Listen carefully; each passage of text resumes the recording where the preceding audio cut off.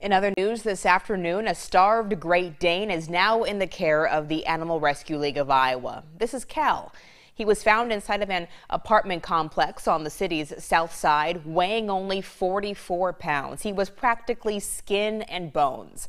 The ARL says Cal's recovery will be a long one, but it's accepting donations for his care on the ARL website. The dog's owner, this woman, Alexandra Byron, faces animal neglect charges. She was booked into the Polk County Jail but has been released.